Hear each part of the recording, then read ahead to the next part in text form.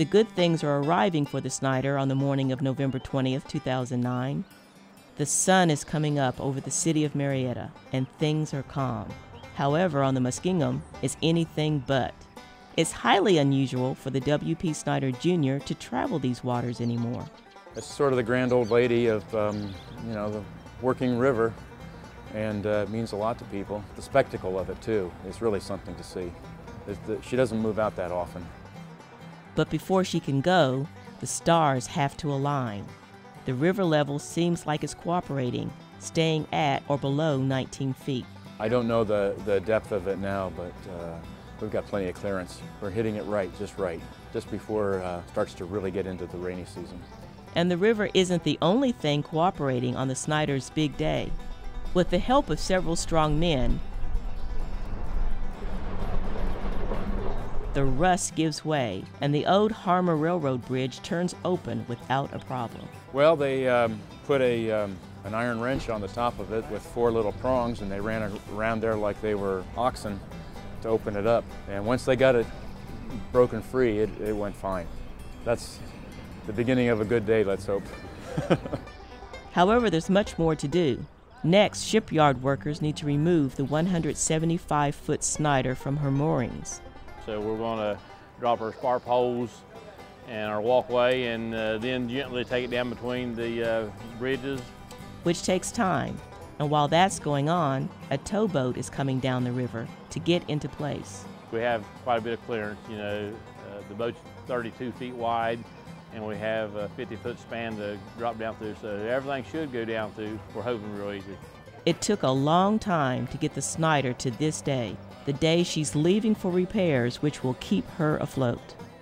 The Ohio Historical Society has the responsibility to make sure all the I's are dotted and all the T's are crossed, and, and we've done that. So let's get a new hull underneath that boat. let's go. and just like that, after years of worry and frustration, the Snyder is on her way.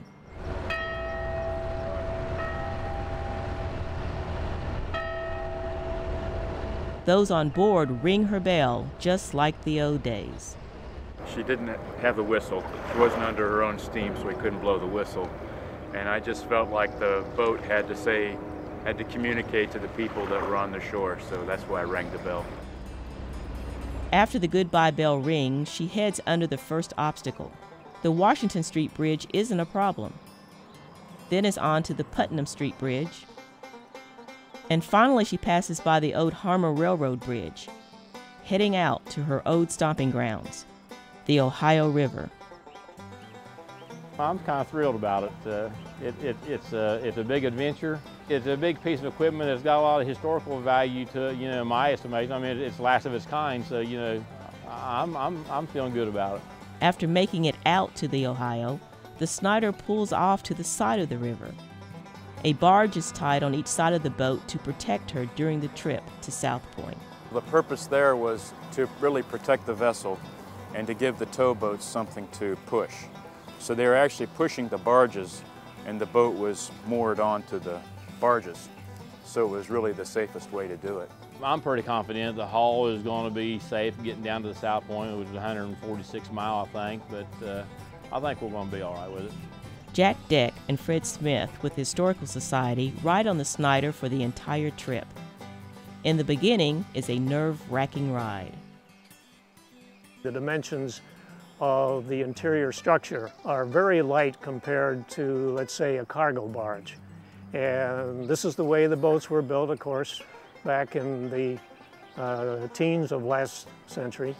And uh, having uh, seen the deterioration through all these years, why, uh, yes, I was apprehensive.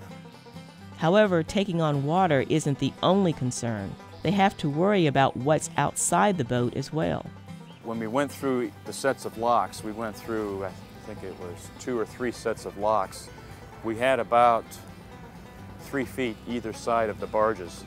So we really were, were tight going through the lock, but the boat was completely protected. The trip is expected to take 18 hours. Hours the two spend in the boat's sleeping cabins and pilot house. You don't often get a view of the from the river like that, and especially being up in the pilot house, because that's where we, us passengers, were the whole time.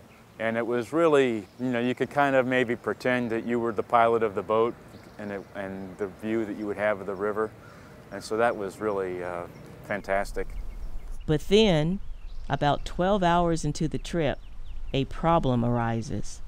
In the middle of the night, around 2.30, 3 o'clock, we ran into some heavy fog. It's a common thing, you know, fog, they, they, they get shut down and they tie off and, you know, they presume after the fog lifts. It was a uh, shutout fog and uh, the uh, proper safety practice is to uh, take the boat to the shore and wait it out.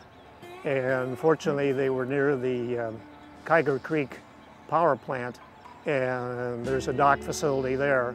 So they just pulled over and tied it off, and, and uh, the fog broke about 10 o'clock in the morning, and then we continued our trip down. So The Snyder eventually makes her way downriver, but the trip ends up taking 30 hours. Now it's time for the next hurdle getting the large boat out of the water.